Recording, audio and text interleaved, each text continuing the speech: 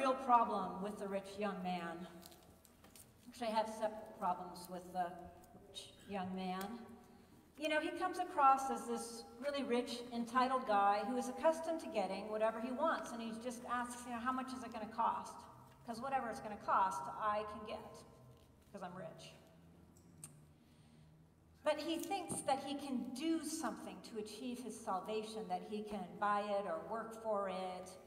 And that's his question What must I do to inherit eternal life? Well, as anybody who has inherited anything knows, you don't inherit. You don't do something to inherit. It is a gift given to you, usually by a loving parent or grandparent. You don't earn it, you don't work for it, it just comes to you. So that's one of my problems. My other problem is that it smacks of spiritual perfectionism because Jesus says to him, Well, you know the commandments, and then Jesus lists a few of them. And then the young man says, Yes, I have done all of these since my youth. Now, I don't think he's showing off. I think he's really saying, I've really tried to be a good person my whole life, ever since I knew what the religious laws were, what the commandments were, I followed them. But once again, he's trying to figure out how can I be so good that I will get eternal life.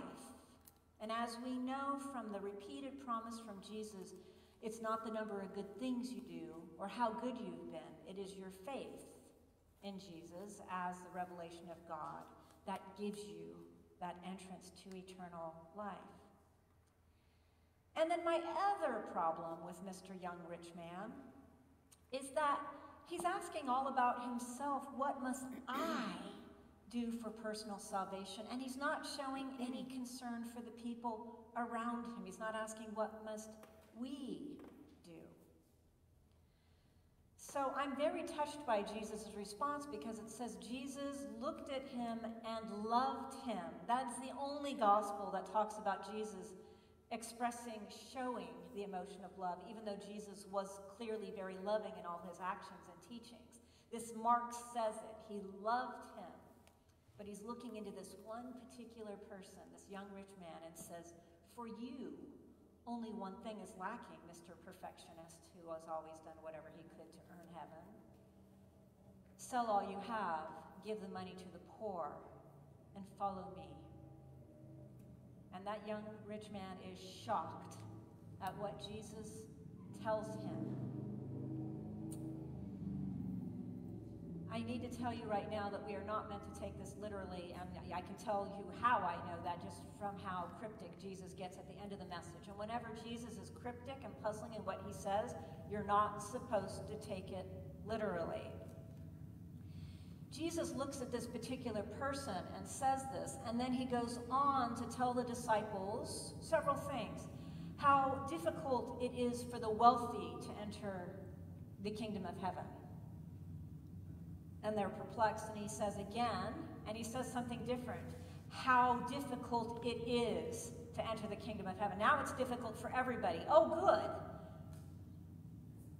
And then people say, well, then how can that be possible? And he says, well, for mortals it is impossible, but nothing's impossible for God because Jesus is hinting once again it has nothing to do with you. Entering heaven has everything to do with God. And yet, there is some balance between how we respond to God's call to us and God's power to save us no matter what. And for much of the world, it has to do with money. In other Gospels, Jesus says you cannot serve God and wealth. So I define wealth as having shelter, having food, having medical care when you are sick or in pain. That's how I define wealth. Not having so much more, you know, scads of money that you don't know what to do with it. So, according to that definition, almost everybody is wealthy in the United States compared to the rest of the world. So, that's my definition of wealth. You're warm, you have a place to sleep, you have food, you have care when you're hurting or sick. And Jesus says that it is money, money that separates us from the kingdom of heaven and separates us from following God. It's very trying. But my real problem with the rich young man, my real problem is that he reminds me of me. I tried very hard not to preach about this gospel. I tried to preach about Amos. I tried to preach about the psalm, any sentence in the psalm. I tried to preach about Hebrews. Great reading. And what does Hebrews say? It says the word of God is like a sword that just cuts through you. And every time I tried to preach about something else, God said, No, you're preaching about the rich young man. It reminds me of me. And if I'm be honest, most a lot of people in, in, uh, in um, our neighborhood, San Diego, because no matter what we do, no matter how hard we try to be generous and so on, in general, money is a major concern. It is what people talk about. I'm uh, 59 years old, in case you're wondering. So, um, none of my working friends are retired yet, but I have older siblings and their friends, and they are retired or talking about it. And everybody's talking about acquiring and selling properties. Everybody is talking about the retirement plans. Everybody is talking about uh, whether this job or that job has medical benefits. Everybody is talking about Medicare and what will happen, saving for sabbatical, going on vacation, what age you can retire. Everybody is thinking about the pile of money. Everybody. And if you're in a different age, everybody's thinking about should I put my kids in a private school or how will I have enough money for college savings? Will I have enough to buy a home? Everybody gets tensed up about money. And so Jesus says multiple times, I hate to tell you, it's all over the Gospels. The thing that's keeping you from peace, kingdom of heaven, is money. Money. Worrying about money. Not money itself, but worrying about money. And this is not due to a moral failing on our part. We live in a system, we live in a country, in a world, but also a country that is very concerned about grabbing and holding on to property, grabbing and holding on to property that belonged to indigenous people, uh, getting the free labor of African Americans who were enslaved and brought here, and then holding on to wealth. So it's part of our nation's history, including a nation that is has been deeply Christian in its roots. So, no surprise that our Gospels and, and our God keep telling us you have to get rid of that fear that you're not going to have enough and let go of it. Stop worrying about it. Stop worrying that no one will care for you when you're old. Somebody will be there. Just follow me. Now, I tell you not to take this literally. Jesus gospel because he says to Peter, when Peter says, Look, we've given up everything our houses, our wives, our fishing business. And then Jesus says, Whatever you've given up, you're going to get back a hundredfold in this life and in eternal life. I don't know anybody who's gone poor for Jesus, got it all back a hundredfold. It's also clear, if you read the entire Bible, that there are plenty of rich people in the Bible who are beloved by God, by Jesus, and by the disciples who followed him. There was no mandate for everybody to give up everything they have. There was a mandate, however, to let have money have less of a clutch on our gut and on our souls. So, what could he possibly mean? I think he means that this obsession, this societal obsession that we have, and the personal obsession that we have with both physical wealth, you know, money kind of wealth, as well as our own personal salvation needs to go away.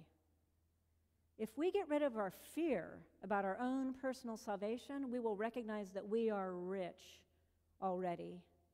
We are rich in having a spiritual community to attend, that, and that attends to us and that cares for us. We are rich in the community that Jesus gives us and that the salvation he has already promised us. And we are rich in that if we really pay attention to what Jesus said, the kingdom of heaven is already within us. We just can't find it because we're so tightened up about money. Interesting, isn't it? During COVID, when we were all uh, and kind of locked up at home, and we were all going a little bit crazy with being locked up at home, one of the things we found out was all this surplus income that people had. It was widely reported in the news, not just in the United States, but all around the world, that people could not uh, spend money on public transportation, they could not spend money on going out to restaurants or shows or things. They couldn't go travel and visit their relatives or go on fancy vacations. And so there was this abundance of wealth People were saving. Great Britain was shocked at the amount of money being stored in banks. But at the same time, churches were closing down across the United States. And I thought, how interesting that for all those people who had an abundance of money because they weren't going out and doing all those things, it wasn't showing up in the church's coffers. People were not thinking of giving the surplus to their church when, in actuality, that is something that the church asks of us. I am reminded of that because we're about to launch our pledge drive, our giving drive for coming year, and you're going to be asked to think about making a gift to the church. And what we're going to ask you to think about is sacrificial giving, not symbolic giving, not a little bit of giving, but sacrificial giving to perpetuate the life of this church, to allow this church to live beyond the next 10 years, to allow this church to live beyond a little bit of abundance given to us by somebody's estate plan a while back, to let future generations of children hear the same liberating news that some of you started hearing here 50 years ago. There will have to be a balancing of giving.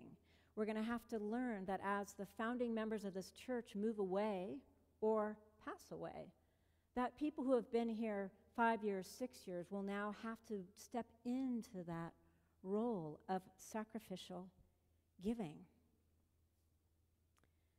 I was reminded of this at the Tai Chi class yesterday. I got to get rid of my notes so I can demonstrate this to you. Uh, about 12, 10 of us or 12 of us were at the Tai Chi class yesterday.